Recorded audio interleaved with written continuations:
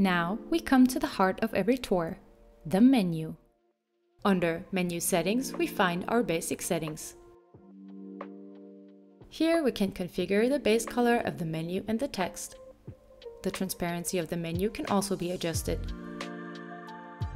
Should you not need any menu, you can also switch it off completely. With Open at Start, you can choose whether the menu will be displayed as open or collapsed both on desktop and mobile.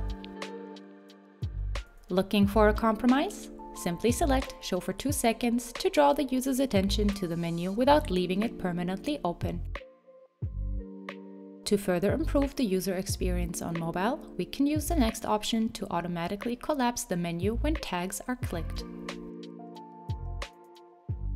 Further down, you could change the text direction if needed, for example for Arabic or Hebrew.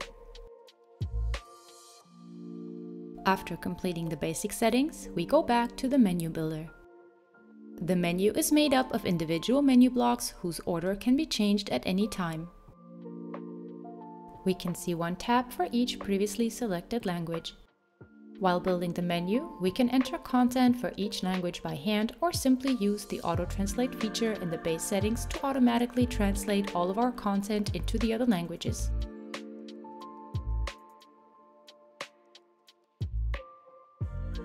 Let's now create the first block together.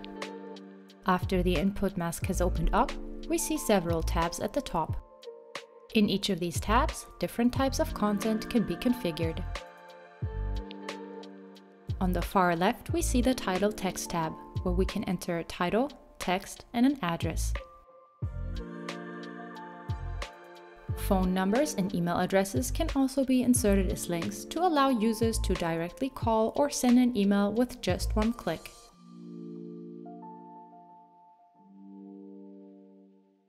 At the bottom, we can enable the Google Maps view for the address we entered. Pro tip, by using HTML in the text field, you can implement custom fonts and colors. As the name suggests, Title Link allows us to add a link to the title in each selected language. Once again, we see the usual options for the opening mechanism. Same tab, pop-up, and new tab. To finish off each block, we navigate to the Advanced Settings tab. There, we can pick an icon for our menu block as well as configure a text and background color and adjust the background transparency. Each menu block can be displayed as collapsed as well.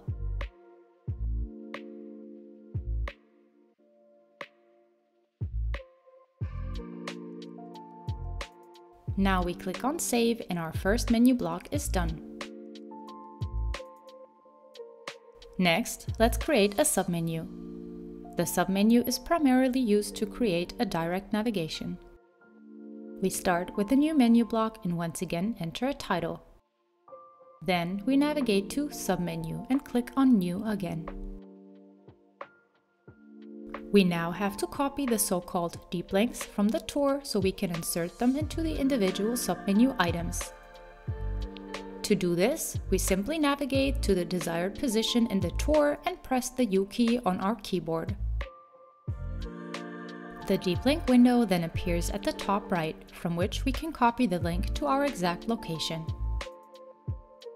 A small tip, some browsers open a search box when pressing the U key, to avoid this, you can hold down the left mouse button and then press the U key. Next, we insert the deep link under Settings and select an opening mechanism.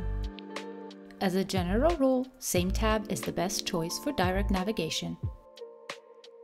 For a faster workflow, I recommend copying all the necessary deep links from the tour before you create the submenu to avoid jumping back and forth. Then, we add a title for our submenu item in each selected language. If we want to use something other than deep links in the submenu, we also have the option to assign a different link for each language. This is not necessary for deep links, as the language is always based on the user's system or browser language. Finally, we assign an icon to our submenu item. As usual, we can either select one from the list or upload one ourselves. We click on Save and continue creating more submenu items following the same principle.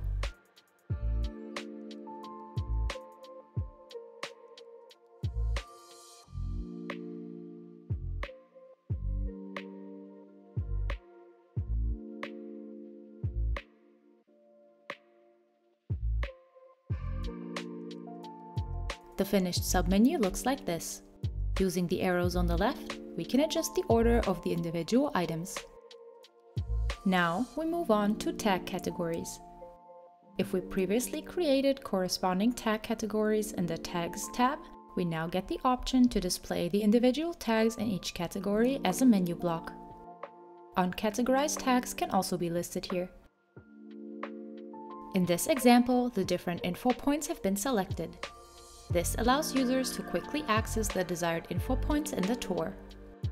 By enabling Tag Search, we can also add a search bar for the tags.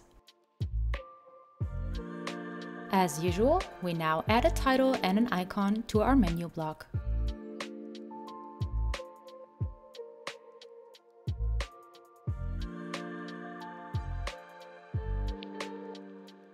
We continue with the tab Media. Here we can, for example, add a logo, upload one or several images, or link a panorama or video. When several images are uploaded, they can be viewed with a slider, like a picture gallery. If you want to include high-resolution images, you can also upload a compressed version of the image as a thumbnail and then store the full resolution image as a media link. This speeds up the loading time of your tour.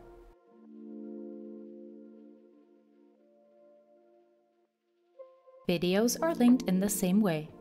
First a thumbnail, then a video link. If no thumbnail is stored, one will be taken from the video link.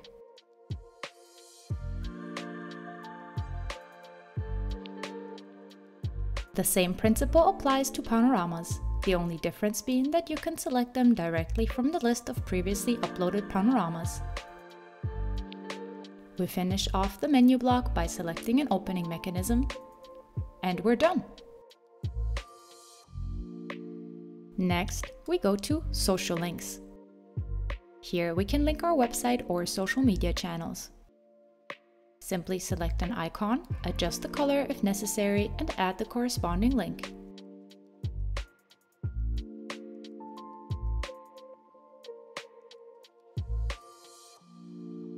Lastly, in the Skins tab, we can link other skins directly to the menu by selecting from the list of skins in our account.